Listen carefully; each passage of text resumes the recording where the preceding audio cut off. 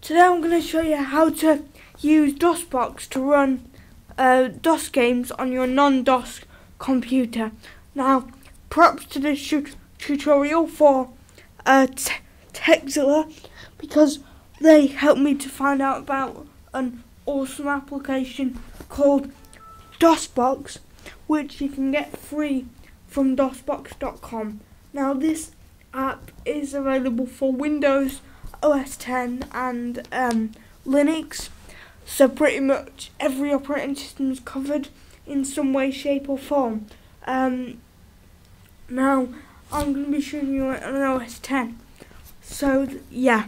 Um, now what you'll first need to do is to get the DOS game. Now it's not technically legal to uh, download it, but virtually all the DOS games are available for download, and um, these these games were out well before I was born, uh, so I don't have the discs. So I've downloaded them just for demonstration purposes, but um, I'm sure you can find your own ways to, to download them by searching around Google. Um, so I'm just going to demonstrate where I've got these uh, files stored. Um, I've got them in my root drive, which for Windows users would be the C drive, and then I've got them in a folder called DOSBox, um, and then I've got in a folder called A, and then I've got it in a folder called Install. The HD drive is there, there for a minute, and then if pay pay close attention to this path. So it goes root drive, DOSBox, A, and install. You can uh, put them wherever you want. You just need to remember the path. Um, so once you have all the files, um, you're going to need to get DOSBox, which you can get from DOSBox.com, uh, which, if you look here, is an open source project. Um, so now I'm going to be showing you how to do it. First, we need to mount an A drive because A is a floppy drive and DOS games usually install from floppies. So we need to type mount A um, and then we need to go to the directory. So I had it if you can remember from here, in my root drive, which was my Mac HD, and in Windows, I need to type forward slash. Um, on on Mac, I need to type forward slash. On Windows, you type C colon backslash. Um, so I've got my root drive, and then I had it in a folder called DOS. DOS box. And then I had another folder, if you can remember, called A. Um, and then I had a folder called in store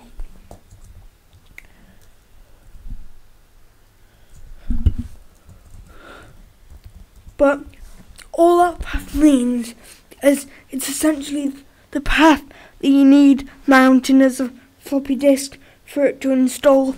So if you've downloaded the files to somewhere else, you need to navigate to that path in there. Uh, so I'm just going to press enter. And as it says, drive A is mounted to that folder. So that folder has now become a floppy disk. So now we need to mount a hard drive. And in Windows, traditionally, um, all hard drives are C drives. So I'm just going to type mount C, and then I'm going to type the directory that I want to be mounted as a C drive. So I'm just going to use, hold on, sorry for this guys. DOS box um slash a and then slash HD. Now, if you look that, um, if we go back to that folder where the HD folder is, that's an empty folder that I've created for all the files to be to be installed in. So if we go back to DOSBox and press enter, it says drive C is mounted to that directory and you could go on doing that for all the folders that your game needed. Now the the, the um game that I've downloaded, what I've downloaded is not actually the install discs. It is the actual game. So I don't I don't need to install to another drive, so I can just go straight to A. So I'm going to type A. And then here it says A.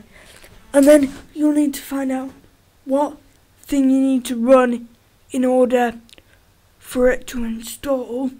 So I know what my file name is and it's install even though I don't need to install anything.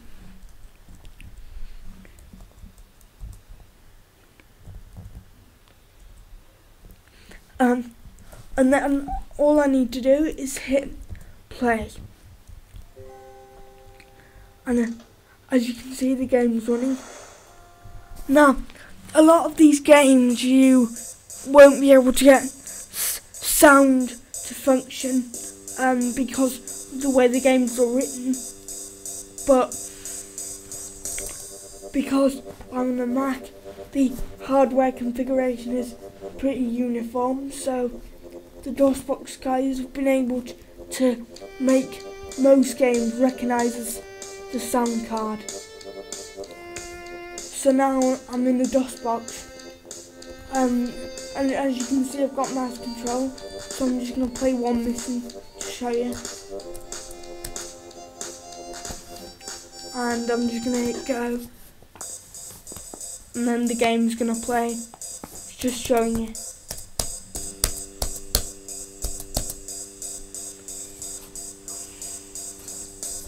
And now I'm just gonna play. As you can see, I can select anything that I wish to. And just play the game like I would have done normally if this had been a DOS computer. But what happens if I want to exit DOSBox because I can't just exit out because that mouse has got my control. So I need to press Q. I need to go here and press Q and then press return to um,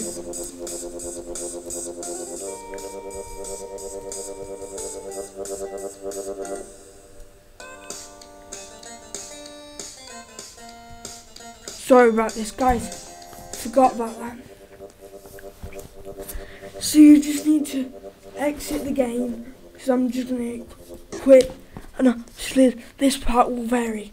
Now, once once you're back at the DOS prompt to exit out because that's still got control in your mouse, you're just going to type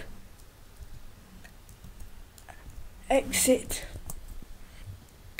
and then as you can see I've got control of the mouse back again. So I hope you've enjoyed this video. I hope it's helped you. I hope you haven't been too confused by it. And thanks for watching and uh, please subscribe, comment and rate. Thanks for watching.